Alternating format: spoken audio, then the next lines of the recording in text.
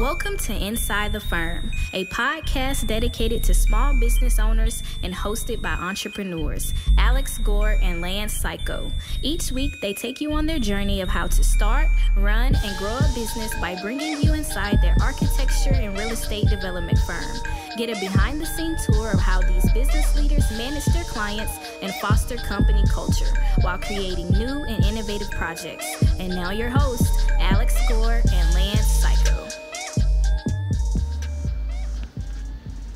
Welcome to Inside the Firm. I am your co host, Lance Cayko, and I am not joined by my co host, Alex Gore, because today's episode is a special one. It is a crossover episode that we recorded about a week ago with the guys over at the Archispeak podcast. So, big thanks to Evan Troxel and Cormac for having us on their show.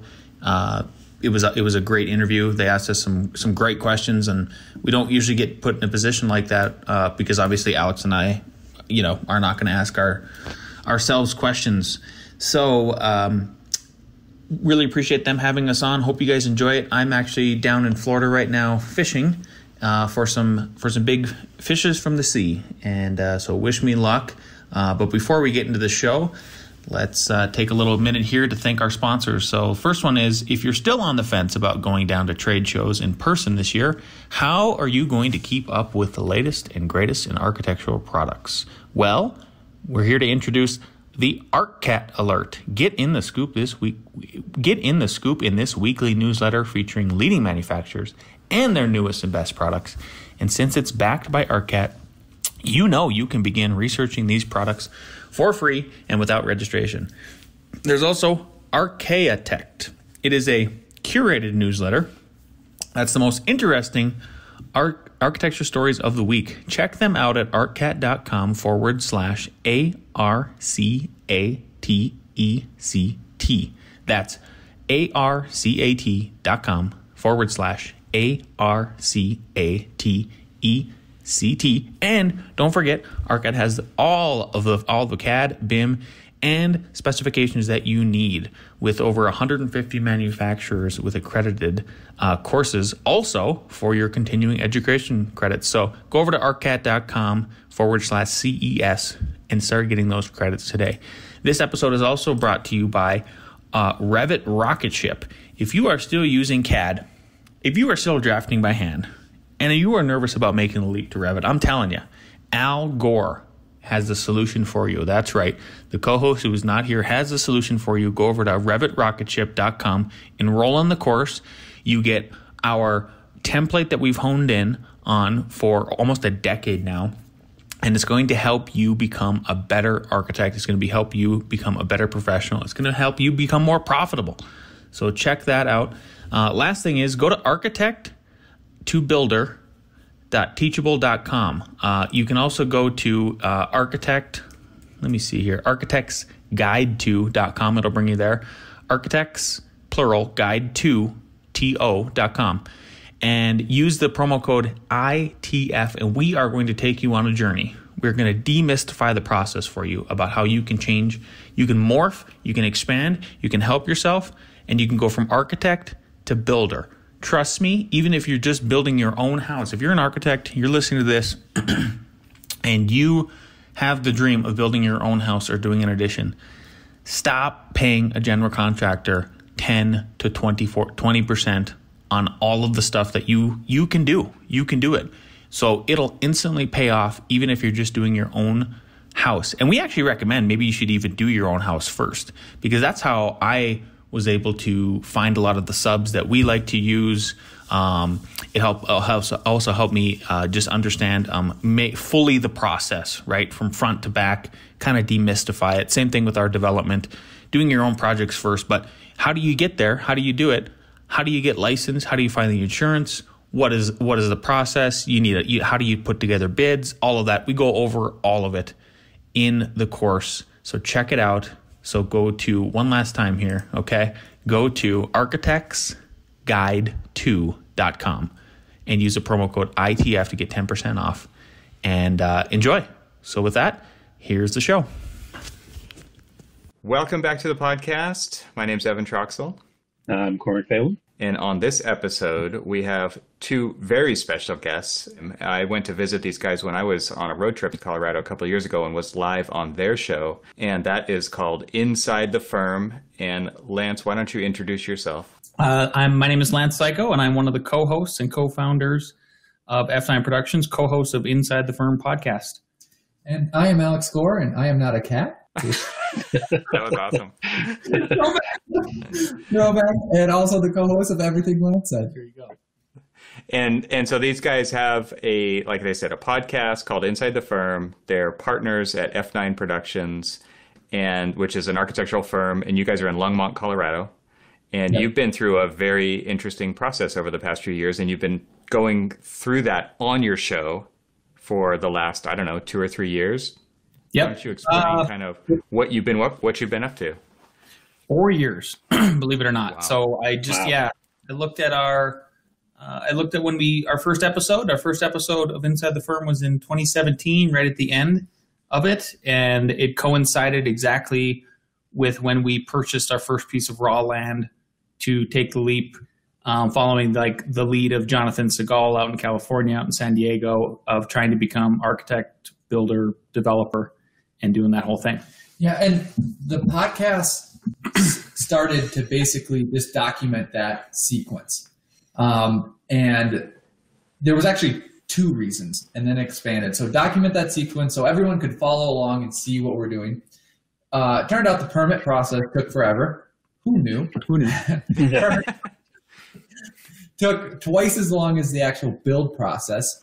Um, but you, you'll see us throughout that whole process tell what's going on. There was some really, really tough times. One of the units flooded.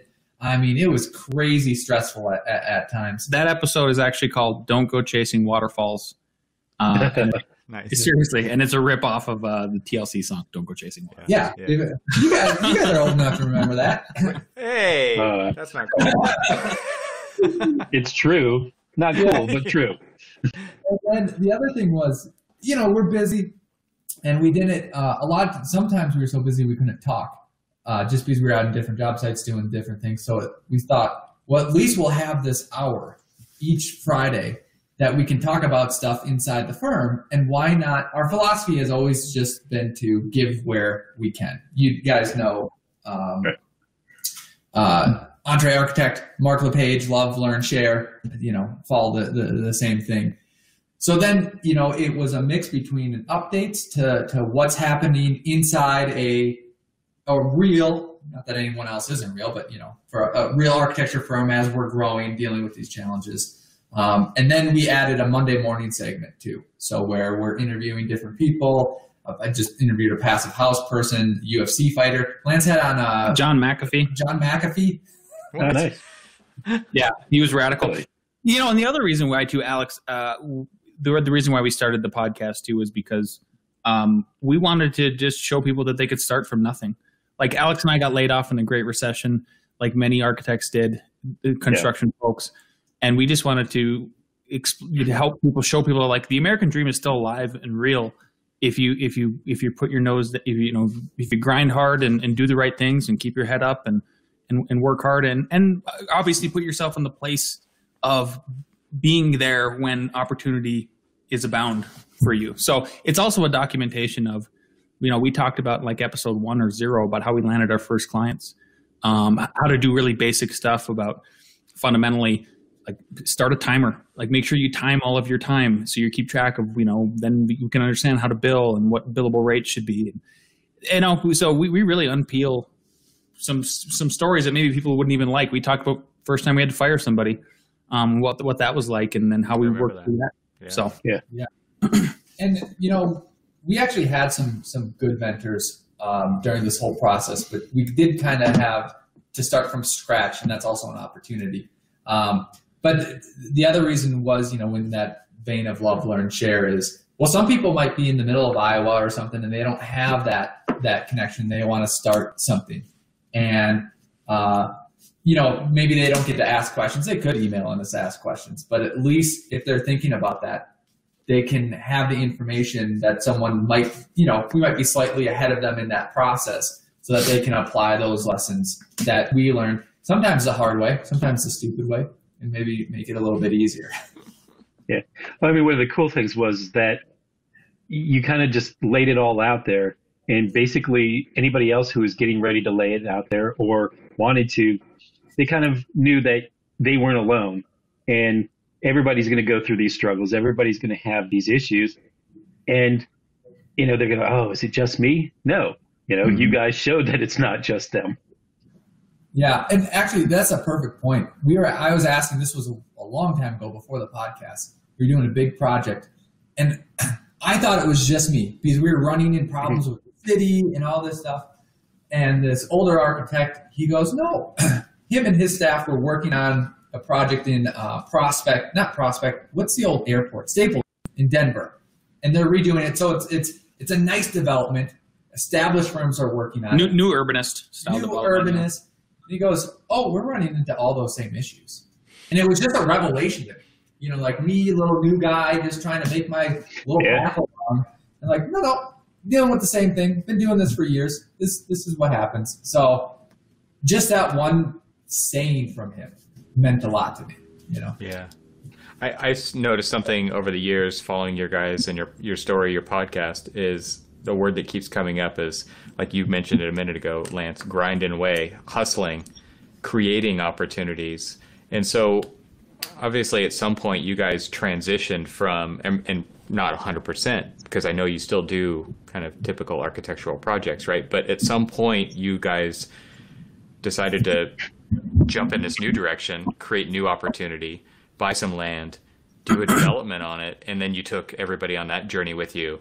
And I think that it's just testament to who you two guys are. Number one, that you are out there trying to create these opportunities for yourselves, for your staff, for and and then putting it out there for other architects to go on that journey with you. And I think that it really inspires a lot of people. Have you gotten feedback along the way where you've gotten that kind of you know inspiration to other people that they're talking yeah, about? I think the the most immediate ones that we got is there's a couple people that reach out to me from NDSU, the school that I used to go to, and have asked me questions and, and then thanked me for that.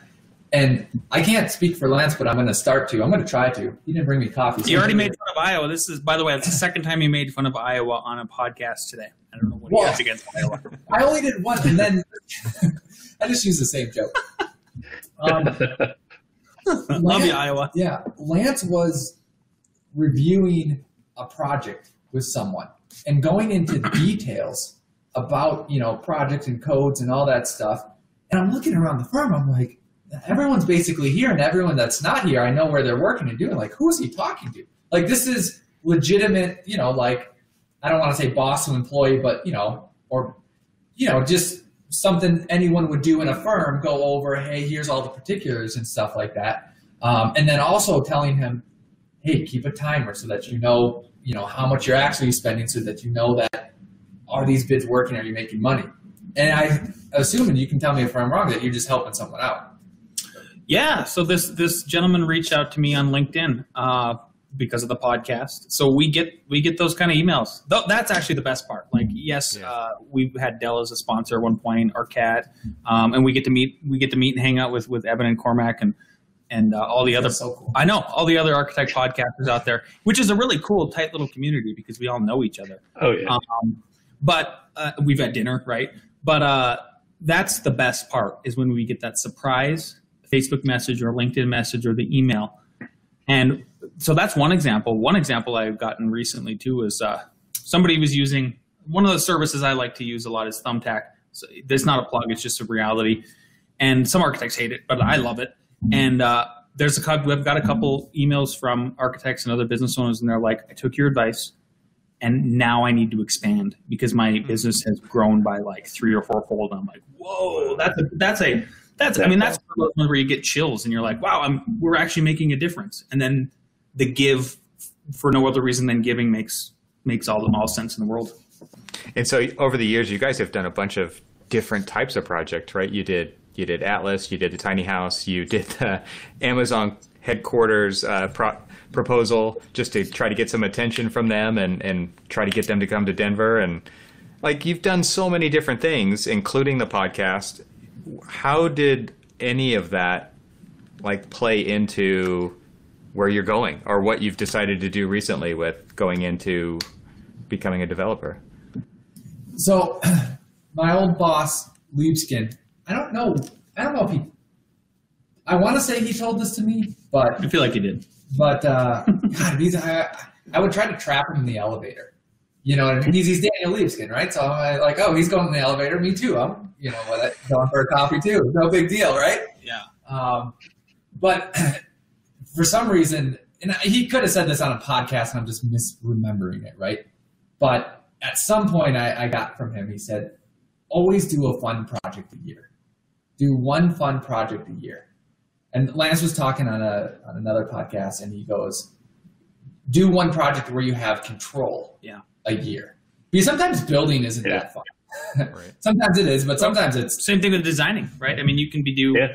You've heard the horror stories about that intern at with I.M. Pei's office, but like he was just the bathroom guy, right? Yeah. Or girl or whatever.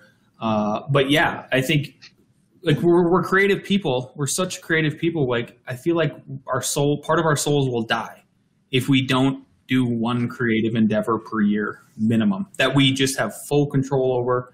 It's a risk. It's uh, we met with this banker once. Remember remember that conversation where he said he huge was banker. Well, one banker. one banker that we've worked with before, and he he, said, he told us a story about um, the founder of Oskar Blues. If you guys know Oskar Blues uh, Brewery, big brewery out here, all kinds of restaurants, and he's like, oh yeah, one we we would at the bank even we would have seed money for one crazy project a year, and he told us this story, and it, where he's like, guess who it is, and I go.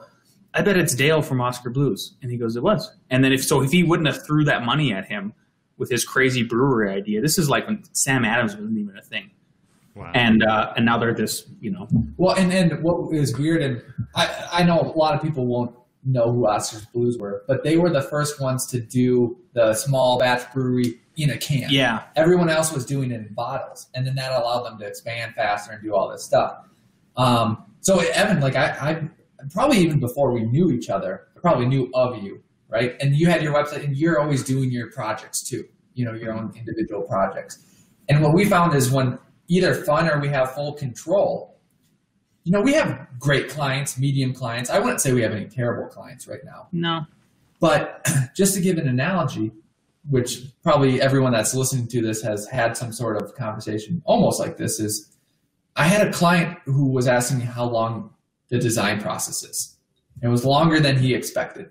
And then I told him about, you know, what what's actually actually happening, what I deliver to them, their input, how long that takes. And then finally he goes, Well, I'm not an architect. Uh, wouldn't you have better ideas than me? and we were really vibing back and forth. And I go, honestly, yes, I will. I will have solutions. and I go, but the thing is that some people have lived in their house. They want this this way. They want that way. Like, oh no, that's that's not me, right? And and when he said that, it, it kind of related to when you're doing that project that you have control or that fun project yourself, is that you get to have your vision be authentically executed, and then that will vibe with a lot of people. gosh, and it's really given like uh, staff a whole nother sense of ownership because I've seen uh, like staff that's you know maybe within a year or less at our firm come in and have their hearts broken, and I, I guarantee everybody else had that in their career once before, at least at least a couple times where you're a young intern or a young architect, budding architect, maybe not even licensed, and you're just in love with this one house that you did or this one commercial project, and you're like, oh my god, it's perfect. And then the budget comes in, and then it's just destroyed, or it never gets built, or or whatever. Yeah. Um, but when we do our own projects like Atlas, the other two tiny houses, now Mark II that we're sitting in the development, um, stuff like that, we make sure everybody gets to touch a little piece of it, uh, so that they really feel like they own it. They own part of it, and they get that fulfillment. Yeah, yeah, and and it, it goes back. This is a very long-winded response to your question, no worries. but but the the response is not every one of those ideas that we do align to oh this is the path this is the perfect path Mm. to take no. but it aligns with the theory of oh do we have time? Can we do one cool project this year? Mhm. What is that going to be? That's the through line. I think the yeah. So uh, a direct answer to finally get to one would be when we did Amazon. So it was Alex's idea. He did most of the graphics and kind of the programming and everything, and then I was the media person. So I spent a day, I think a day and a half, on social media, boosting posts, doing all kinds of stuff like that, getting Denver Seven's attention, Fox 31, and then we got interviews, and then and then from there it just went exploded. Um, we obviously didn't get Amazon, but we did get a call the next week Oh yeah. for a townhome project. And she literally, the gal literally cited, now she's one of our best clients and our friend actually. And she said, well, I picked you guys because you guys are, you're young and innovative and I could tell that from Amazon and that's who I wanted. And I Yeah. go, oh, Nice. okay. But, but her first question was, um, you know, she called us up and said, "Hey, I saw you, you know, on the TV. Do you happen to do townhomes?" And that's you know what we do. That's the, literally And so I figured, like, yeah, that's actually what we're really good at. not Amazon. Yeah. We would have had to, we would have had to hire one of you guys or something. I don't know for consultants for that. Yeah. For sure. Well, what what's really interesting to me is you guys put these ideas out there, but then you really put them out there. I mean, I think that Right. a lot of people will enter a competition or they'll do some project like you're talking about, but then they won't exploit it in the media sense, right? And I think that is something that I notice you guys do over and over and over again, even if it is just for a day or two days afterward. You actually do as many things as you can to get it out there. Yeah, Alex really is the spearhead, was the original spearhead for that. And it came down to Flood House.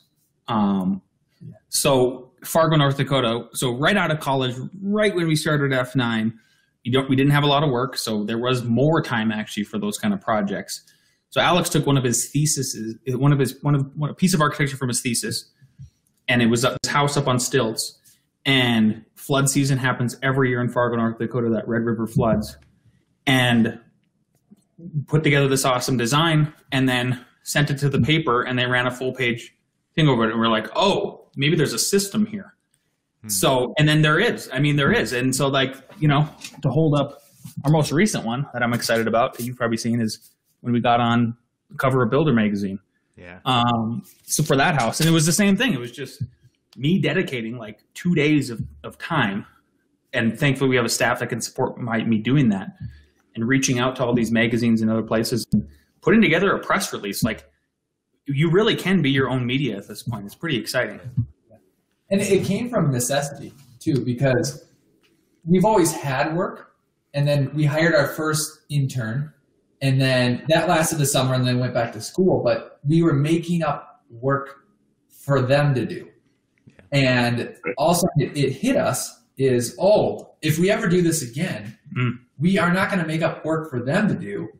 I'm going to offload, and and we made this decision. I'm going to offload my work to them, and then I'm going to make up work to, for me to do, which is to get work, right?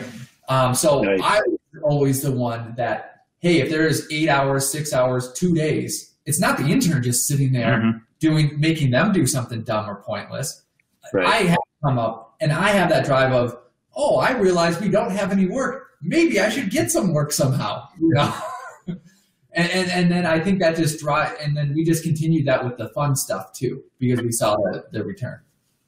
You know, and that's interesting because that was a pitfall when, you know, my college roommate and I were um, on our own. You know, we were always so busy and we were kind of like so singularly mindedly focused on the projects that we had on hand that we weren't looking towards the projects that need to come in to sustain us longer and longer. And then 2008 happens and we just weren't prepared to ride through it. And, and so, you know, these are the things that I, I, I love that you're telling the story because, you know, those were the things that we realized after the fact. Oh, that's what we did wrong. Mm. We didn't Yeah. plan ahead. Yeah, and and also like we made that decision that I would do that, and it wasn't because maybe that was my strength, but actually Lance is also more productive too. So it was, oh, who's the more productive pe- person? You. Okay, you do the work. Worked out well for me, um, but it actually worked out well for both of us. for the firm. I mean, Yeah. totally. Right. Yeah, yeah. It was the. only- I think it was one of the. It was that's the key is trying to be able to multiply. I've seen this Right. question all the time in the EntreArchitect community. Like people are so nervous about their first hire if they're sole proprietors, and I don't blame them. You know, I feel like I have I have this unfair advantage because I have Alex and Alex has me, and we just you know, there's somebody to lean on, there's a, something to bounce back from. But even even in that case, if you're sole proprietor, like how do you get to the point of when you can multiply so then you can free yourself up and then do stuff like we're talking about right. to, to then further expand? And I know everybody has their limits. Like some people are like, oh, I don't want more than two or three employees. Fine, but that it's really hard to get off that first one and take that leap. So you guys talked a little bit about the power of social media because you said everybody can can be their own media producers, right? So obviously, I think Cormac, when you were talking about back in when you were running your firm, was that really a thing that you guys paid attention to? No, no, we didn't at all. I mean, we, we I don't think we even really knew, you know, what right. we, we clearly we didn't know what we were doing. I mean, we lasted for four years, but you know, that was about it. Doing, yeah, yeah, to various levels of success. But so Lance and Alex, it seems like you guys try to leverage that, and I know that there's still questions out there, or maybe there's just a, a hold a hold up that a lot of budding firms come up against, which is should I be spending time doing that? But what you're showing is that it's actually yeah. led to all these crazy opportunities. I think it really what it really comes down to is timing. So another good example of um, how we time stuff was we so in, in 2012 everybody knew this was coming in 2012 right? We've heard about the mayan calendar forever. Oh the world is going to end. And so uh, alex and i were driving on vacation with our girlfriends alex's now wife um, down to like arizona or something the grand, like canyon. grand canyon. Yeah. and if and as you guys know you've been in the southwest like it is apocalyptic as far as the landscape. Oh yeah yeah. Yeah. It's yeah. so beautiful. Like utah oh, I, yeah. I travel all the time but like utah is amazing. Yeah yeah. It's amazing. The yeah. deserts are just, it's like this is where the apocalypse, you know, if, if there was an aftermath and all that other stuff. So we're driving along or whatever, and we're just going off and bantering, and we're like, well, what is the next one we should do? And this was like 2011, so leading right up to 2012. And We were like, well, I bet people are, I bet Google searches are going to explode about doomsday houses. and so we took the flood house and then we made three more and then so and then we bought the domain doomsdaydwellings.com and made these really cool houses that one was like one is like a box and it could open up and it's it's called this the seed the seed house. Because the idea is it's it's like it's for fire it's a, where you should, you should put it where it's going to be fire like western wildfires. And if you if you you know how that works as well as soon as there's a fire then all the seeds actually propagate afterwards. Like they, they actually need it to happen um, we made another house. It's called Genesis, and this one is for nuclear disasters. So it was like really spherical. Like Elon Musk would live in this house if I look at it now. It's very, very modern and like round and stuff.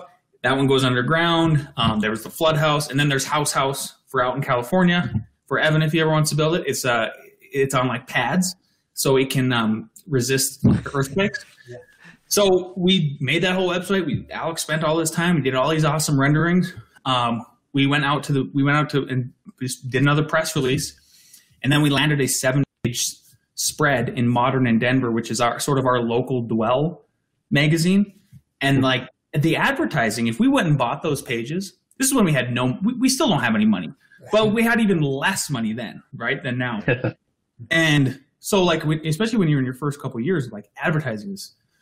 It's just you should do it, but people are you know you got to pay yourself, you got to eat the that each each each of those pages was like twenty five hundred dollars is what it would have cost us. But we got all this free publicity from it, and then it's also cool because now you can like even that builder magazine I just showed you guys.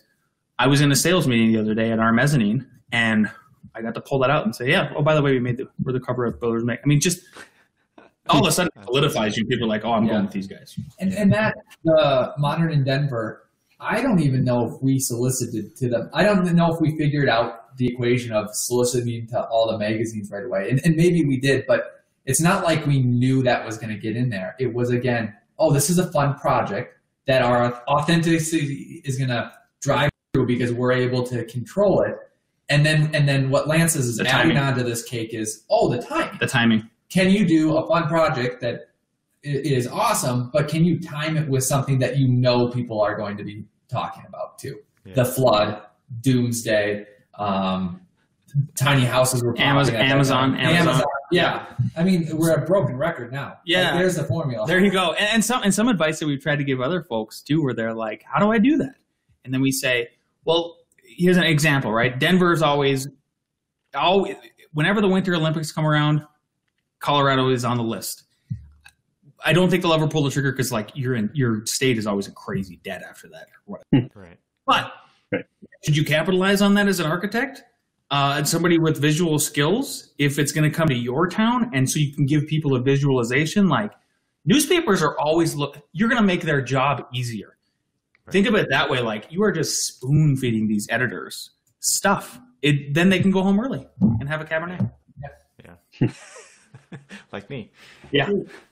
So you guys work your butts off, and then you decided you were going to add a whole other job description to what you do by basically building your own development. So how did that transition happen, and why did it happen? So the how was we built Atlas Tiny House, and then uh, Fortune 500 company said, "Hey, we want that, but please make it bigger, way cooler. Put a hydraulic deck on top, make everything fold, make the railings fold, um, And we want two of them. and we want two of them." And, we, and we said, "Okay, but that's going to cost you X." And they said, "Sure." And I was like, oh, okay. Well, if they said okay to that, I guess I'm, I guess I'm in again. Because it, it was, you know, and the reason I say that is because it is it, building those tiny houses is it was hard. Building anything is hard in the sense that you're taking raw materials and making you're creating space out of nothing. You're a lot of you're banging sticks into place. I mean, it is like this. It's still a very barbaric act. I don't care how precise we are with lasers. So there was a hesitation, obviously, um, because and that company also recognized too. I think that was a unique thing that they recognized is that well, Lance and Al are builders plus architects. Hmm, I feel like they're the only people that could get something like that done, where it's foldability and precision and, and all of that. Yeah. So, um, and it's also hard too if just so you know, we can talk about architect to builder. Back then, it was architect as builder. So it was like you're running the firm and you're building. That's why it was also super stressful too, rather than sort of separating it and having a process. So Mm. it's not you're not literally splitting yourself in half trying to do two things at once, right? There's a, a better way to do it that we eventually kind of figured out. um, just took us a while. Yep. Yeah. So then uh, after that, we built that. Then we used profit from that to buy land to do this, to do the project that you see. This is our shop. There's tools down there. This is a little uh, interstitial mezzanine conference space, and then an office upstairs. And the idea, the the why behind that, besides hey, it's another fun project that we have control with, um, but more responsibility, more reward, right? But architects and designers spend so much time and effort on a project, are so invested, know it so well, have a lot of the same risk, a lot of the same risk, and a lot of the profit is not in your pocket. It's in the developer, it's in the builder, and it's we've almost seen too, you know, especially when those roles are separated rather than stacked. It's like, oh, we're doing the same amount of work, but we're not getting the same amount of reward. So we had to test that out by building this. Yeah, and I I would say it's not, there were it's not just profit in the sense of money. Um, this actually wasn't a very profitable project for us in that sense. Uh, com- like a lot of other our, our developer buddies said, I wouldn't have done that. Um, that's a very tight margin. W- we did it, but I think the other reward we got was we we can say we wore all three hats, and that that knowledge is, is is huge because now we can speak everybody's language. And then the other thing too is when we bring people in, new clients into the office, like we're just walking around like peacocks because it's we're so proud of the space we made and we're so confident in our skills now from top to bottom. And it's really starting to translate down to everybody else in, in the firm when they can start saying like they can tell clients now, oh yeah, that steel beam's gonna cost a thousand and feel comfortable about it. or if we make this patio bigger, it's going to cost you this much more. Um, so it, it, there's been a huge reward of profitability in knowledge, Yeah. more than anything, I would say. And, and honestly, you know, if you don't learn and then adjust, you're being stupid. Um, there's no other way to say that. So we, we thought like if we did have a plan, like, oh, we'll make this eight units plus our headquarters nine units, and then the next one Oh yeah, we'll make sixteen it'll be bigger. unit or you know eighteen or like that was literally the path looking to, to, to double up. And we saw how long the planning went. We saw you know how the construction went and all the risks that went with that. We go wait if this just call it an eightplex. You do an eightplex, the lead time from buying the land, all the risks, going through there, the- the process, and then building it, literally three years in the future, especially now, who knows what kind of Mad Max situation we're going to be in in three years. Like Mm. three years planning is a lot different in 2019 than it was in 2016. Yep. It's a world apart. It is. So where we transition to is okay, instead of doing that, and people can do that, people build multifamily all the time. Four houses are close to equal to profit, way lower risk, way easier to do than a multi-family unit development. Because not only can Yeah. those four houses we know the client over the architecture process, we get to trust each other, they know us, we know them. You know, it's close in, in proximity, but then that feedback loop is is tighter because it's not like you're buying the land, then doing all the drawings, and then waiting to build. It's it's no, they bought the land. Hey, you did all the plans. Hey, you bring up that conversation, and then you're immediately just extending Mhm. that project into the future. So that was a great lesson that we learned. So when you guys bought this land, how much were you sweating at that point? I mean, and that was just the very beginning. Not. Yep. I only we only started sweating once we had everything was approved Okay. except for you had to do for- it. except for the fund, except for the funding. Yeah. Yeah. And the way it works with land loans, typically, uh, because most people buy them with cash. Well, we didn't have that kind of cash. We still don't have that kind of cash. And they, um, they, it's a balloon loan. So like, it's a three-year thing because they're planning for you to, you know, get through planning, build it. So planning one year, building one year, selling one year, three years, and you're done. Uh, but it, so that that's when it really started to get I nervous and nerve wracking was us running around for a couple months Yeah. trying to get it financed and through the door. Um, and then it finally did. Then, then it started sweating again, right? Because then you're on the clock and interest is going all over the place and Yeah. stuff like that. So, uh, but I tell you what, it's made us a lot more calm builders. Um, I, I feel like I'm able to really soothe and calm clients down, especially when they see costs come in. Now we have all ki- there's extra there's other ideas that we have for like, hey, here's how you can save some money. And again, just having that knowledge about how much a garage door costs and being confident in saying what it what it costs, you know, or the difference between um, different kinds of windows and what those cost, or different railing types, um, all, all kinds of solutions. I, I just think it's made us. I hope it does anyway. Uh, more well-rounded architects and, and professionals in the building industry. Yeah. And, and not just us.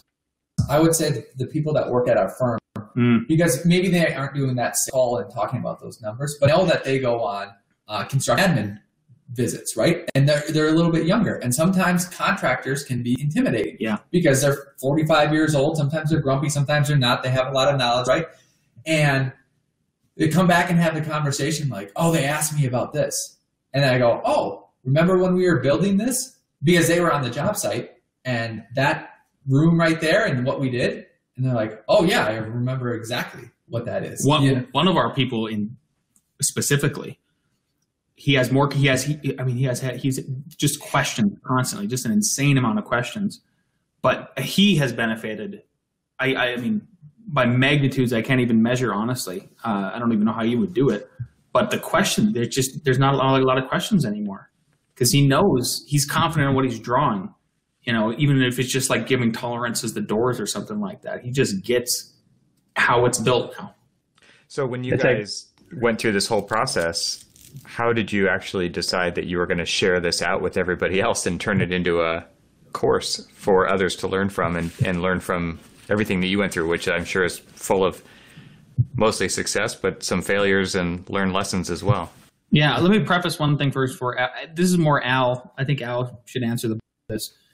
But when we we were finishing this project, I was I was convinced, even though it was like one, of, it was literally one of the hardest things I've ever done in my life, for sure. Because there was one point where I worked 80 days in a row, no joke. It was just it was it was a very intense process at the end. Um, but I was still convinced. I was like, okay, now we're gonna be now we're gonna be contractors. Like I know we're not gonna be developers after this, maybe for a while until somehow we we figured out how that could work better. It just doesn't work well right now with how long it takes things to get approved, financing, all that kind of stuff. But I know we should be that we should take something from this and grow from it, and it should be as builders. And Alex was a little hesitant at first. Um, well, yeah, yeah.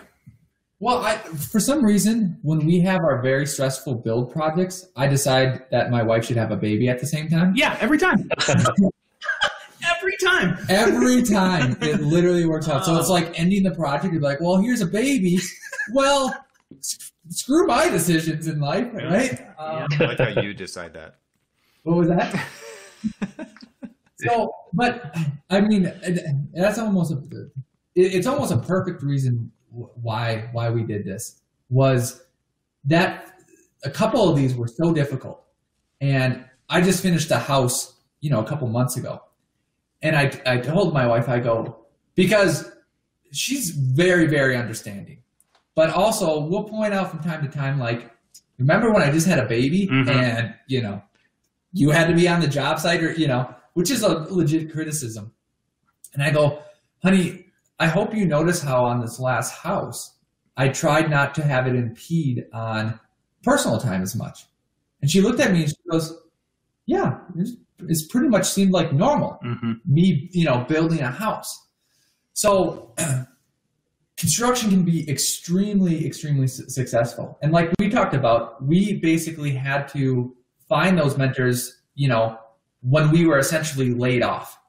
And they're not always there, mm-hmm. you know, for you, and they they can't always be there for you. They're doing your their own thing. So while yes, this course, you know, we do charge money for it. The I don't think we charge as much money as the value that you're going to get out of it. And the reason I say that is because we have this, um, like people who want it before we launch, which is tomorrow, we have a discount and we can give it to anyone that's listening to, to, to this too. Um, but he bought it, and he, I knew this client was going to build his own house, but he was on the verge of having a contractor or build their own house, and it wasn't wasn't going to be us for for various reasons. And he and he's like, "Oh, I saw on social media you have this course," and I go, "Yeah, you, you know, if you want it." I didn't even think he was going to buy it. Hmm. Um, I go, "Here's the discount." He, he bought it immediately. He goes, "I just watched the first four videos, and they're amazing." And it hit my head, and I go, "Oh, you're going to save at least seventy thousand dollars." Like you're gonna say yeah. I, would not charge for this course. I wanted and, I wanted to charge more for the course just for the record. Yeah, um, but um, and, and and I told him like, hey, this is the course is for you know transition from architect to builder. So there'll be some things that aren't relevant. You're not converting clients or anything like that. Um, but I believe your question was, you know, like why? And I, I think that goes back literally to the beginning of, of you know we've experienced this benefit from other mentors. And I actually have some interviews with with different builders in there too, as you know, just bonus interviews, you know, just kind of part of it. And a couple of them, and I was talking to other builders when I was developing this. I was getting, you know, different spreadsheets together so that we could do stuff. And then don't let me forget, I want to talk about one of the cool things about it. Okay. Um, but a common theme, not all of them was, you know, hey, how do you get in it? Oh, my dad was in it oh, my uncle was in it. And I go, oh, something like we didn't have that. You know, other people don't have that. So how do you get over some of these hurdles if, if you just can't call up your dad or your uncle or something like that?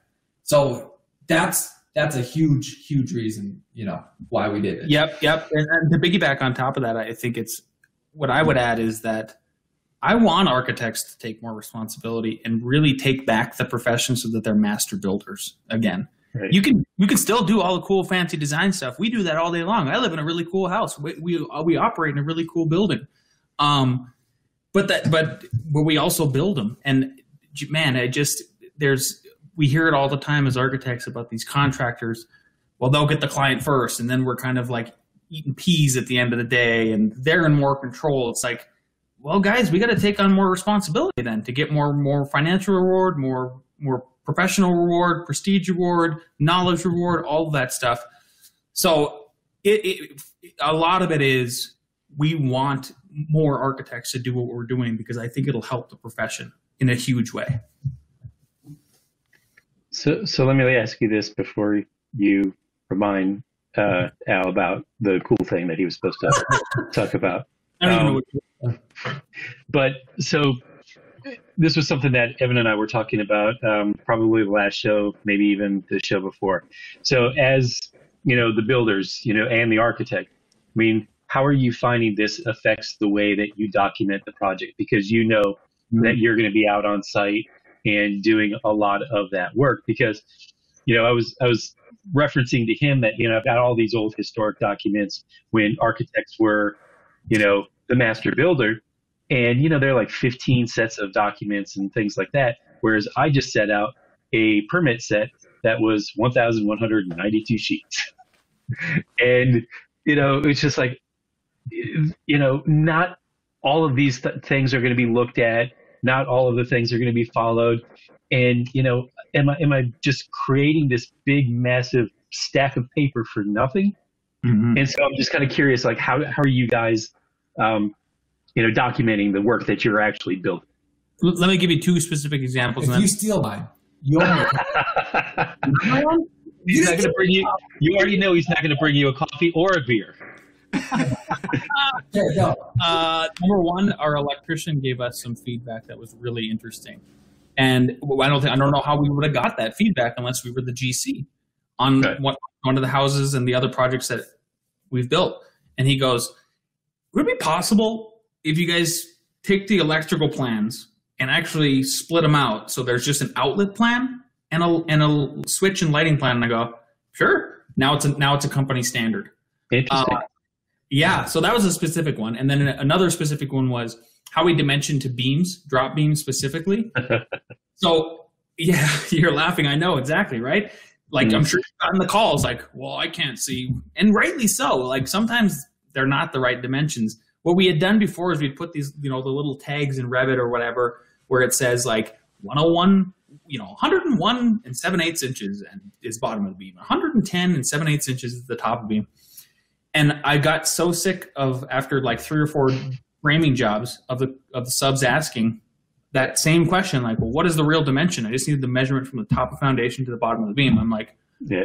okay. Uh, So then we had we brought the whole firm out one day. I pulled out the drawings and I and I literally already had them circled. And I go, guys and gals, here's what we're doing from now on because I'm tired of answering the questions.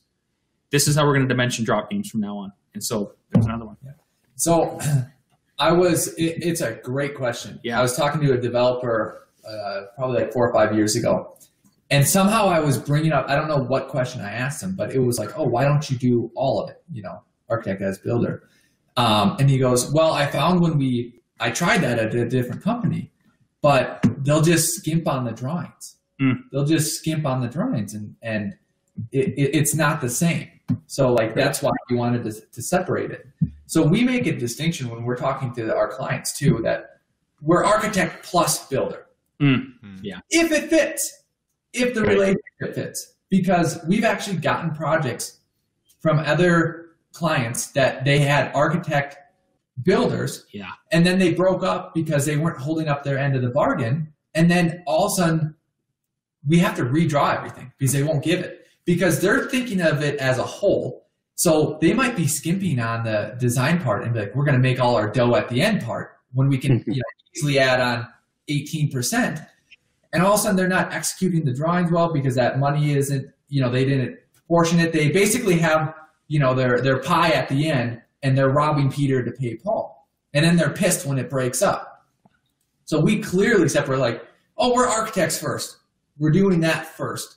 And then if we do the builder part two the more the merrier that's exciting so like i think that's key but then the second thing is is that exactly going what Lance was talking about and what you're getting at is that okay, now that we are in the field, we want to be lean to be correct and be helpful, not to skip.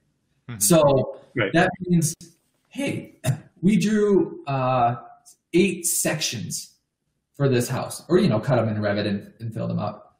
Right. How many times did those get looked at? Mhm. Maybe the only one with the stair, and the rest of them were a waste of paper. Mhm. We, you know, on, on very simple houses, this isn't a, you know, so don't take this as a general rule. Like Right. I've had contractors ask me, "What's a reflected ceiling plan?" What the hell do I need that for?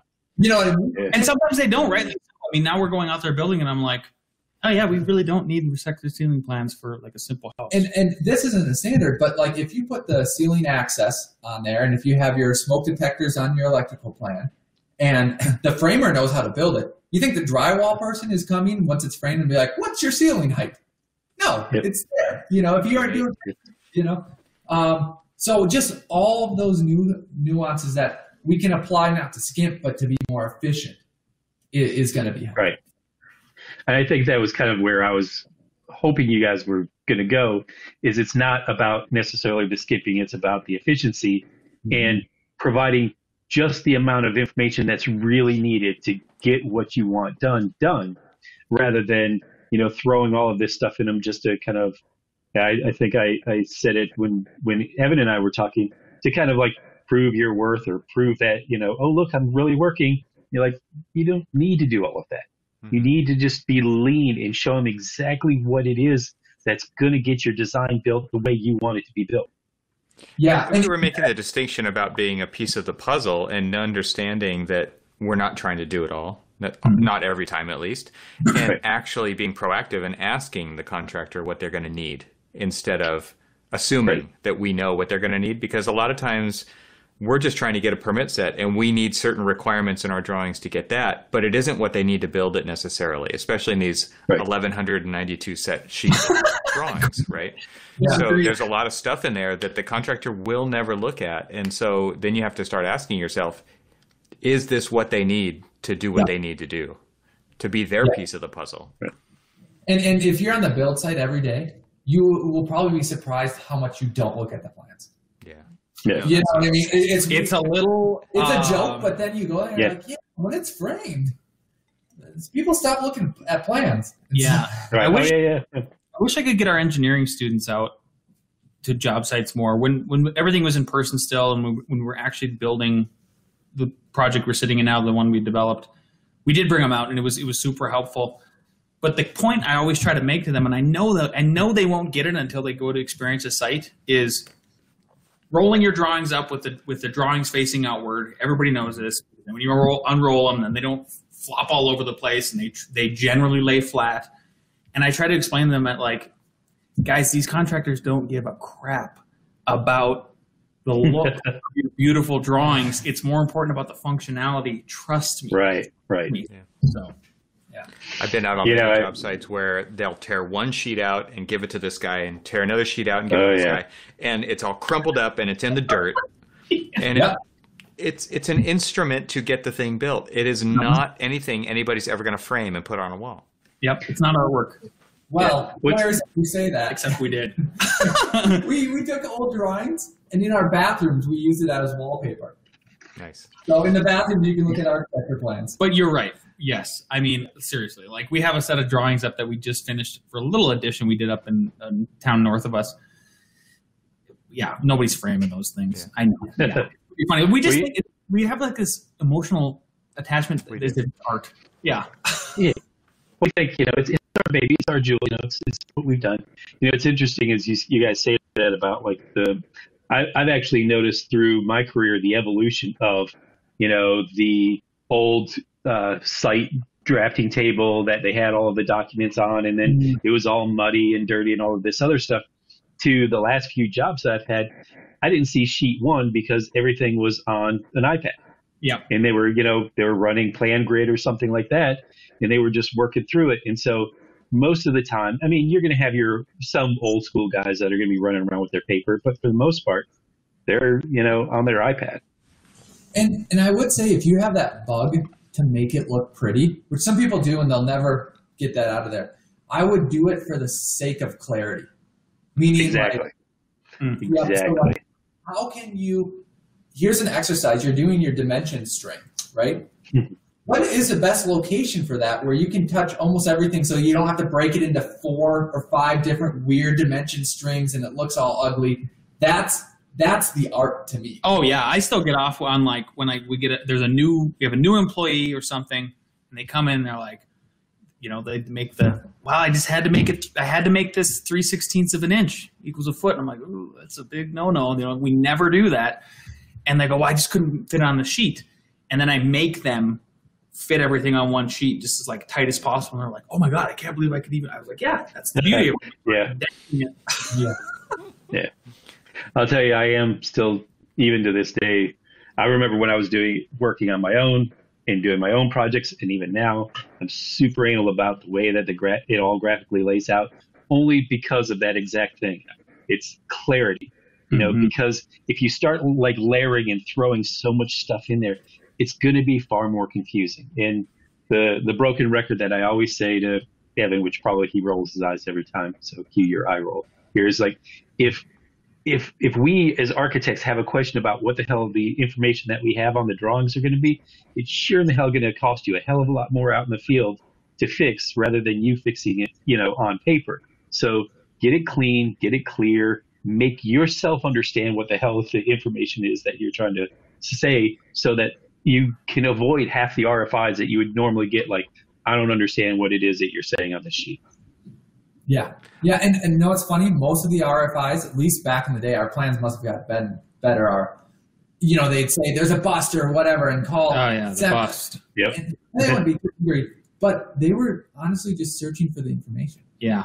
Yeah. Just- Yeah, yeah, yeah. Uh, half of my RFI answers used to be is, um, I can't, you know, uh, I need this detail. Oh well, you know, look on this sheet. But it wasn't, you know, I, I started to slowly learn. I was like, wait, there was this logical order that I kind of like broke, and it should, you know, the detail that they were looking for here should have been right here rather than five, six pages out Oh. down the road. Yeah. I agree with that. Yeah. That's a great point. We've actually even went so far as uh, our framers and our foundation folks, same crew. And I, I finally sat down with them one day and I go, Geo, I'm going to teach you how to read drawings. And I and nobody hmm. had nobody had. They Yeah. just we just like that is a one of the mind blowing things to me. It's like, oh my god, we just assume they know how we're coding things with our little book that we're making with all of our little symbols and stuff. And Right. the questions from him have almost went to zero because now he knows how to navigate through the drawings correctly. I had to use a little bit of Spanish and everything, but it worked perfectly. It's great. Half the time they think they're looking at some IKEA directions. Yeah. so I, I recently took the contractor's test, and I was, you know, told like, oh, some questions might be how to read drawings. I didn't get a single. I maybe got one out of eighty on that. I was like, oh, please give me twenty percent of the questions on how to read drawings. if I can do that. But it didn't I'm work out. wondering Yeah. if your guys' drawings changed at all because of what you've learned by building. The most, re- yeah. Well, yes. I gave those those couple examples. The other one that I gave recently, and this is actually going in the opposite direction of doing things efficiently. So, because so there's a, a tenant finish that we're going to be doing. It's a rather substantial one. It'll be one of our first ones that we've done. Four thousand square feet, pretty big, um, in in the town we operate in, and we're going to do this. Our crew that we have now built within our construction arm is going to do the steel framing, and so with my GC hat on, I needed to tackle two things. Number one, I needed an accurate material takeoff because they're the estimators are never right, and I know that I can be right because of the past builds that we've done, like down to the stick or down to the stud. So what I started, so what I had our team do, and then they did it on another tenant finish, um, where we, we were we're going to build it. Is I said I want you to model all of the steel studs, the tracks, everything. But this was after we were done and through permit. So this was us eating into a little bit of the profit, the GC profit. But the idea was we're going to make that up on the back end because our framing crew is going to look at that 3D drawing now. They're going to know exactly how this thing goes together. And then it, and then it also saved me time because I, I could get an instant material takeoff as soon as they were done modeling. So that's that's one big one that we've done for interior finish jobs. We will model all of the studs if we're the GC. If we're the architect only, you know, it's a different story. Have you guys gone beyond the drawings? Like you just said, you include like, I assume these are like axons or something. Are they on a Yeah. sheet or is it is it an interactive model that you're providing to them? Both, both. So exactly, it's an axonometric, um, a couple of them, right? Uh-huh. Um, and they're usually on maybe one or two sheets. And then, I mean, it just makes everything clear. And we were already kind of doing that. We were already doing that anyway for houses that we were that we were doing the structural engineering for with our with our engineer. We were already modeling it like it was going to get built, like Alex talked about at the very beginning, and our framers loved it. Like we're, the the minute they f- saw it for the first time, not our framers, but the GCs who were building it before we were. Brian Tinker would call us back, call us like I distinctly remember, it, and he goes, "Please do these drawings from now on because it just minimized our questions. They're awesome. The lumberyard loved it. Everybody loved it. Um, and then with the model, yes. So one of our construction foremen is pretty tech savvy, and uh, we've given him a laptop, and that's the idea: is we, hey, open up. Here's how to navigate through Revit. Open it up. And, and that question reminds me of something we did before we became contractors, but the, the through line actually led me to, uh, led us to what we developed for this course that I said remind me of that I'm reminding myself of. So Finally. finally, oh, yeah, yeah. He's not even drinking. Sense. So, um, one of the things we did when we could start a firm was we realized that it was only Lance and I. So we're the only ones making decisions. So we can rethink things. So why don't we do things the way we think they should be done?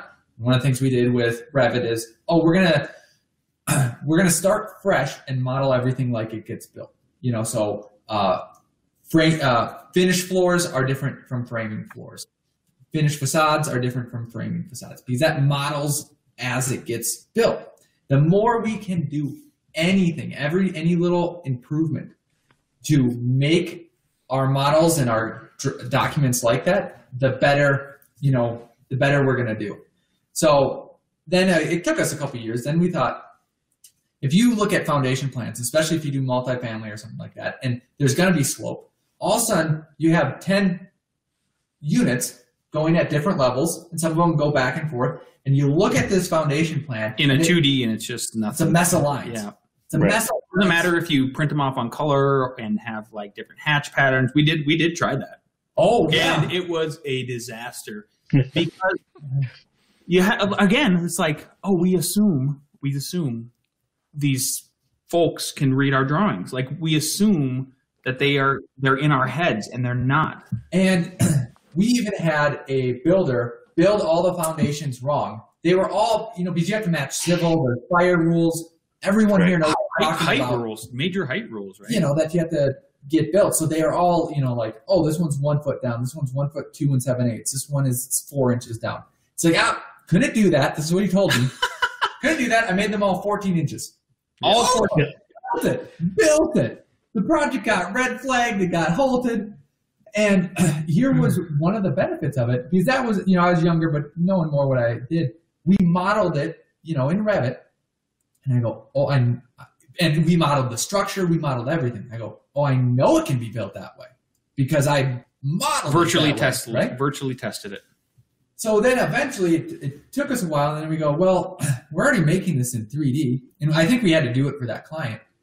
Why don't we set up an automatic view that has a filter that takes off everything but the concrete structural foundation walls, and have that at you know an, an angle, and just tag the elevations. And if there are elevation tags, you can just like draw a line on there, and that same line be on the floor plan. They immediately see that. They immediately see like, oh, it looks like every 14 feet, it looks like you're changing heights. Let me look at this detail plans. Yep, right there. If I look at, you know, just a, a world of difference, a world hmm. of difference.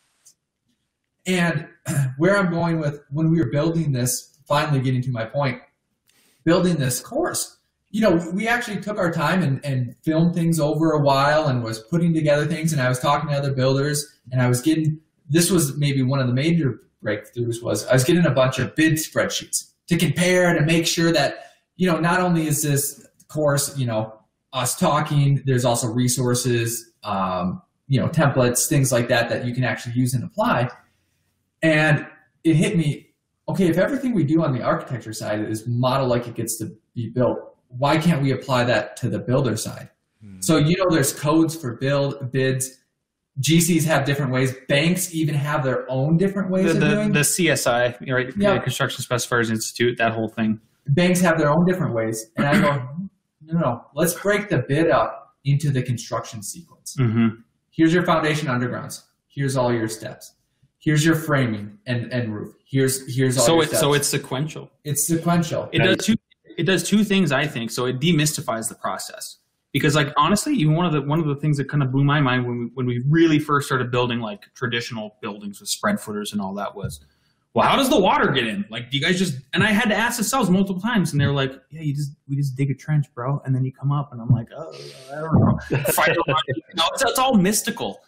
So, uh, so it, it really did demystifies that process of like, here's your sequence, and then it, then the other thing it does is when you go to put in your for your construction draws, you're going from a top down scenario instead of like scrolling up and down and all over the place. And it's it's basically capitalizing on we've been implementing the two second lean by Paul Akers over at uh, at the firm over the past couple weeks and making those kind of tweaks and like just getting it into the into the culture of the firm and what we do of like at any point if we find stuff like that where we're like oh i'm tired of i don't know dimensioning this certain way or i'm tired of like having to tweak this schedule go into the template take some take two minutes you'll make up for that two seconds later because we'll multiply that you know over the next 10 years and stuff. Yeah And then also, I also noticed when when I got the bids, and this was the one that kind of told me it was going to work on the right right track. I had electrical and, and plumbing, and they would bill me out at rough electrical, Mhm. rough plumbing, rough mechanical. Yeah. And so instead of just having one one line, I broke the spreadsheet into that. So when you get that bid, you can put in the rough number and the final number too. And then over on the side, you can, you know, like the plumber is maybe in three different, maybe he comes in the beginning when you're doing your Undergrounds, excavation, yeah. undergrounds, maybe he comes for rough and maybe for finals. Well, just sort by plumbing. You know, like that's so much easier that, you know, by having it in that order, that, that's a that's a low cost for you to do is to sort by plumbing than to do it the other. and way. it's a cross check on your subs if you're a new if you're a new gc and you've never you've never looked at a plumber's bid a lot of these guys will just throw one number at the whole thing and it's not really broken into the categories that alex just explained. So it's a cross check for you because you're going to take their bid and you're going to go hey sam or bill or whatever you need to help me break this out because in my spreadsheet this is how it's going to go. And so then you are it's a safety valve for you to find as you're a newbie anything that might that you might not know about like a nuance and you won't get surprised. Then you don't have to then you don't have to eat out of the contingency fund of a, construction project. Here, because here's an example. What if they give you a bid for plumbing that's thirty thousand dollars, making up a number, and you go, okay, you put that in a regular spreadsheet, thirty thousand dollars. You put it in our spreadsheet, and it has you know the breakdown of rough, all that, and then it has plumbing fixtures, and you go, oh, did you guys include plumbing fixtures? Like, are you bringing the toilets and and, and that? And they go, no, we don't do that. You know, you you buy it. Well, in our scenario, you caught it. Yep. in the other scenario, you get three quarters through the project and you go, we don't have this in the line item here. our foundation Someone has to yeah our foundation folks are notorious for that like here's what the foundation cost is and i go is excavation included oh no that's that's separate well you got to tell me My grand yeah. Yep. So Wow. Yeah. Well, I feel like we've got a good intro to the show now, right? So Nice. let's jump into the meat of this here. Tell us what this course is and what you guys go through during this thing and what people can expect to get out of it. Because this, Yeah. is, I, I love what you guys have done. I love how you've really turned this back to this kind of idea of the master builder and you've been through it yourselves. You're not just Right. blowing smoke. So, what is this course and what is it about? So it's called Architect to Builder. Uh, you can go to Architects Guide to Architects plural guide and then just to.com and it'll get you there.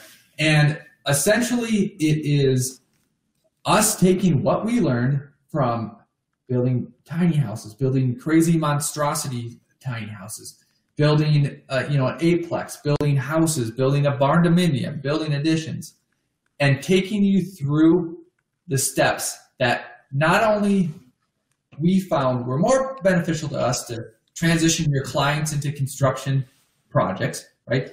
Which basically is a safety net for your firm. Mhm. You know, you're oh, really- oh, yeah, especially when COVID hit. That was we didn't have to lay anybody off. In fact, we expanded because we we made that move. Yep. So because once you're funded, they're not taking away funding. You know, some people will do architecture plans where they're paying cash for it, and then something hits and it's done. Once you're funded, you're secure for the next year for that Yeah. project or however long. Yes. So how we found the best way to transition to that, um, and you know, even little tips and tricks about like we tell you why when you do get your bid, you've already had these conversations. Send that on that in an email rather than in person. Here's why. You know, things like that. Then stuff that we had to learn. Uh, and you know, one of my that was a to, just to drill in on that just a little bit here was I was first going through the construction budget in real time, and it was a disaster. And then I called one of our our GCs who we who's built most uh, most of our really cool homes, and I said, "How do you do it?" And he goes. Oh, I send them an email on a Friday, then they get pissed over the weekend, and then they have a few drinks, and then they calm down, and then we talk Monday, and then we massage it, and we, we do business. Yeah. I'm like, okay. So, you know, multiple things like that. Then how to actually set up those projects, right? How to bid them out, how to, uh, what you're going to go through to, to get that project to start. Then also what you need to do to become a contractor, Mhm. what licenses you need to do, The different what kinds. tests you need to do, test on tipping, uh, you know, t- test uh, tips on the test for doing all that, um, and then take you through. Okay, construction. Here's the general sequence, right? Here's the draw process. Here's e- even stuff as simple as if you never uh, have ordered inspections. You know, like how does that work? Well, here's how Nice. here's how it works. Here's the general list of them. I'll take you through a, a real example where I blank out out the names, just so you like. I didn't I didn't know that, right? Mhm, mhm. And and all of these things that you don't know are literally. I know this because I went through it. Just adding anxiety, adding anxiety instead of having clarity, right? There's a major difference if you're operating through clarity or anxiety. It like we can just tell you from experience. It's just a, a world of, of, of difference. Um, and then giving you the resources that we put together, like I said, to, to, to mimic reality so that you can have more clarity through your process.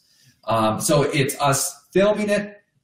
One of our foremen used to be a professional photographer, and he has all the equipment. So it was filmed really nicely. The only ones that weren't were the ones where, let's say, I'm going over uh, the details of something that's shown on the screen. Well, I didn't call him in to just film my face so it could be a little square, you know, and all that. Um, so all that and all those resources kind of put together in one place so that you have the, the confidence to go from to transition your clients from architect to builder and not do the same mistakes where you're overlapping, you're overextending yourself, you're operating out of anxiety, you don't know what to do, um, trying to set you up for success. You know, um, and it was it was funny because I was trying to close a client, uh, and I was walking around. For some reason, I was walking around where every else one was, and I was able to say, and I just pulled this line out of nowhere. And I think Lance gave me a high five even before I Oh, was I was so stoked. and it, and I'm gonna butcher it now, but but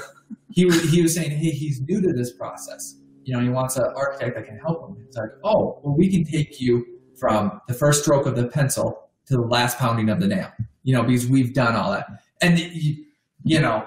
I, I should have ran around and just high fived everyone because you could just tell the guy's like, oh, that's exactly what I wanted to hear, and it's backed up by by by what we've done, right? So um, not only do we think that being a, a, a builder is just going to help you financially be very very successful. And taking this course is is going to help you not only in that way but help you from losing money Mhm. too. Helping you from making so like not only losing money but profiting from it but then helping your architecture firm you know your your your solid core base. I, I would love it if you guys make another course about how you've basically figured out a way to productize your knowledge so that you can make money while you're sleeping, right? Because you guys have also transitioned by putting out courses like this and by putting out Revit Rocket Ship and things like that to you're not just selling your time for money, which is another theme that Cormac and I have been talking about on the show Mm-hmm. a lot, which is architects just sell time for money. And so all of the incentives align to spending less time on projects, right? Which mean Right. less fees. And you're trying to you're trying to balance profit and time and all this thing. And so by putting out a course like this, you guys have figured out another way to diversify your business and help people and make the profession better. It seems like I mean, you, I just want to thank you guys. You guys are doing an awesome Yeah. job. I think that's also a key point too, because if, if somehow we were gonna literally take all this knowledge and format all that and try to give it to someone, like, I mean, you're talking thirty thousand dollars worth of time, right? Mhm. But like you said, if you can prioritize it, multiple people can buy it. Like, oh, then it's not even close. And it, it does something like Alex. What have you been saying to me lately? Uh, something like, um, Bring me coffee. "Bring me coffee." Or beer. something about like uh, making money with no risk or very little Oh. risk. Yeah, that, that was one of the giant. Just it's such a huge lesson to us about the being the putting the developer hat on. We're like, oh my god, talk about risk. I actually get why they would want to squeeze the civils, the architects. Like I understand it because like they need to make sure there's a, a big slice of pie at the end for them to go through years of anxiety and just I mean could be financial ruin every single time, right? Right. Yeah. Right. Right. What was the others? like? It's that that was it. Was like Okay, Okay, how- risk. how can we how can we make money? No, no, no. How can we Oh. make money? by minimizing risk? Yeah, Um, because, uh, exactly. And so you're going to take risks when you become a, a builder, right? So this course will help you minimize risk. This course helps us minimize risk because there's less risk in, in a course, right? But then I think it also gives you the ammu- ammunition too to be able to talk to those contractors and everyone and and tell them, you know, when they want to squeeze something for some reason, you know, hey, it's not worth it for whatever reason. I know that beam's going to cost you an extra thousand or, you know, this or that, but talking more on their level from experience, it, it's just like anything. Like, um, if you have any shared common experience, if you were in the army and someone else was in the army, if you, you know, like, oh, you can just bond over that. If you're talking to a contractor, like, yeah, I, I built this too, and you know, like, it, they're darn down. and it's a it's a you know another thing too is it, it what I've noticed is some of our subs have actually brought us work now, simply because we we have a different style of relationship with them. Same thing with the podcast. Like we have listeners every once in a while that come in and go like. Yeah, I- I've listened to your. I, I know. I know. I've listened to you know X, Y, and Z episodes, and that's why I picked you guys. And I'm like, Hmm. what? Like I would not have expected that. So it's just another way of like putting good into the universe and, and the world, Yeah. and then it, it just always it always comes back around. There was a Jonathan Segal quote that I remember. You mentioned him early on in today's show as one of your kind of inspirations for for doing this, and he said, "Clients are not the answer to your problems." Yes, I remember that. Yeah. So, have you guys felt like that is true, or do you Yeah. feel like this is added to your bucket of problems as an architect? Um, in, wait, are you talking about the building portion or the core portion? Well, the developer portion, right? Because he basically said, I'm going to take this into my own hands. I'm going to be my own client. I'm not going to have to answer to somebody else's whims that change on a weekly or daily basis, right? So he's basically saying, I'm going to control all of that as the architect developer. And, and you know what? I think that's on the pendulum of risk to reward. And I think that actually he's taken a lot of risk. And I don't know if we're set up that way because, like we said, you buy the land, you wait two years to go through, then then you you you know you build it. Then there's litigate, you know, like there's all these all these things, and he's taking that massive risk. But if you follow him, he has massive rewards. Like I think he has Jaguars and you know Well, yeah, and now he's trying to consolidate everything so he can build a skyscraper, which I think is like his retirement pinnacle project. And good for him. I mean, that's like that's a lifetime achievement. So there's there's a scale there, and I think right now, hey, that's a good model. That's one we were following. Mm-hmm. We found another niche that fits the way we've set up our business for for a long time, and meaning like we've. I don't, you know, he has an architecture firm, but early on he was designing and then building his own thing. So that his is streamlined that way. We've built up a streamline of clients that you know companies who have a regular architecture firm So now we are minimizing risk because we're kind of vetting them to begin with, Mm. right? There's there's less of a time gap. There's more of a feedback loop, and that works for our business structure.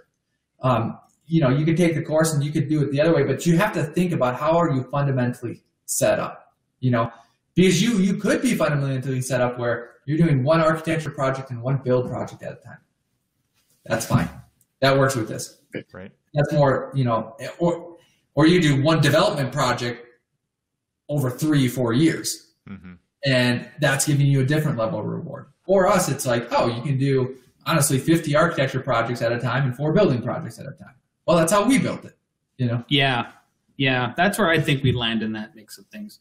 I wanted to be Jonathan Segal at one point, but I'm- I don't know if we'll be there. All right. So what is the website again? Architect's Guide to Architect's Guide Guide2.com. dot com. All And you guys are F9 Productions. F9 Productions. Uh, Lance is a cat. I'm Alex Gore. Uh, we uh, please listen to Inside the Firm podcast. Uh, you can you know find it on any podcast. We're also builders. F14 Productions. You just listed off the website if you want to go get that course. Anything else? If yeah, if anybody ever has any questions and they're listening to this, we are always around. Honestly, you could you can. A, we always give out Alex's email address, akg at f9productions.com. Mine is lmc at f9productions.com. You can find us. You can get a hold of us. We are always happy to answer questions and help people out in any way we can. And you guys are pretty active on EntreArchitect Facebook group, on LinkedIn. And again, I just really appreciate everything that you guys do to share your experience and your knowledge with the larger community because that is how we move forward together. So mm-hmm. thank Right. you guys. Thank you. We've appreciated this interview. It's, it's been real fun, guys. All right. Until next time. See you guys. Okay. Adios. Well, let's do a little wrap up here. What did you think about that interview with them? Inspired. I want to go buy the course just to you know see what they're doing and and just you know kind of get my hands around like you know what because this is I, I I love what they're doing because the thing that we are always talking about is what are the other opportunities for architects? And you know Mhm. architects seem to want to limit themselves to oh i'm going to design you know this thing and then pass it off to a builder and all this other stuff. And And they do it and the thing that the thing that I loved what they were saying was is this opportunity to actually do you know take control for themselves. Mhm. and that is the one thing you know I I had this conversation with somebody today and they were talking about you know like I guess because of you know COVID and everything else that you know, things are starting to lose a little bit of their luster. I mean, the shine is mm-hmm. coming off of, of the profession, and and they're like, well, how do I get the shine back? And you know, and it's just like, and I started talking to them about like you know the biophilia center that I did in Florida, where I was like fully immersed in the project. I was I was part of not only just the designer as the project, but I was also immersed in their actual program and learning like what they do and doing things like you know building uh, gopher tortoise uh, you know pens and things like that or um, you know learning about how they go out and, and even watching them you know go out and do like control burns on on uh, like their uh, reforestation um, progress and, and things like that you know and like watching them you know like getting involved with what they do and stuff and and not just being just an innocent bystander who's like okay i don't really understand what you do but i'm going to design a building for you Mhm. you know, and, and really having a greater, stronger connection to the client. And, and that's exactly what it sounds like they're doing is that they're going to have, they have more connection with the client. They have more, um, you know, they, they really truly understand and embrace what the client wants. Mhm. And, and, and I, and I love that. And, and, you know, and it's projects like that that you don't lose the spark. You, you actually are like, it, it's, it's a new spark. It's a different spark. It doesn't always have to be the same thing. People get stuck in this funk and all this other stuff. And, and this is something that just, you know, it's like, what is the new adventure? New adventures, I'm going to do a house. I'm going to do a deck. One I'm going to do an addition. One of the cool things about their development is that they're actually now practicing out of it. And imagine Yeah. the amount of pride that they have Oh, every time yeah. a client shows up to their office to say, "Yeah, we built this. Like we You're like- designed it, we built it, we developed it, we did everything. We know where every piece in this building is." And Yeah. that's got to be really rewarding. And I, I agree with you. I want to take the course too. and I, it's not probably it's not because I'm going to be developing, but it's Right. because I could learn so much by Absolutely. just following along with what they've been through, and I think that would help every project that I was going to work on. Yeah, and, and and even like you know, like I won't say the advanced years of me in this in the profession, but you know I've been in the profession a while and I've dealt with a lot of contractors and stuff, you know, and but putting on the hat as a as both the architect and the contractor on like a same project gives you a completely different perspective of how to like mm-hmm. interact with them. And they even said, you know, I mean, I think Lance was, you know, talking about how his perspective and how the dialogue between the contractors has completely changed, and now he's actually, you know, the, that relationship is stronger now. You know, and things like that, things like this course can actually help you do that. Well, we don't normally do interview shows, if ever. I think the Hmm. last time we had a guest on the show was your buddy Steve Hoffman when we were Yeah, talking it's about been- Citizen Architect. And I really felt like this was a great story to tell. And it was Oh, hopefully going to be inspiring to our audience to put the shine back on what we're doing. Yeah, I mean, There it is a different way to look at things. And there is so much to learn. We get so Yeah. kind of pigeonholed and in this rut of the day to day of the things that we do. And to kind of take a step back and get that bigger picture of the landscape, there's so much out there. And these Yeah. guys are showing some other aspects of what's available. Yeah, yeah, it's. Very I'm cool. charged. Yeah, definitely. Well, thanks for hanging out tonight. It was fun. This was great. I loved it.